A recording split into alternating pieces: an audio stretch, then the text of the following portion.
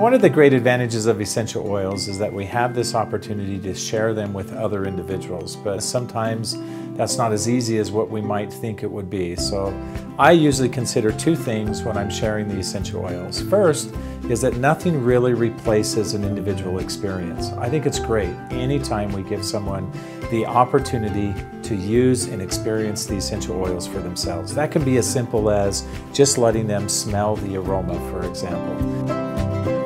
Another way to give people individual experience is to share your own personal experience with them about the essential oils.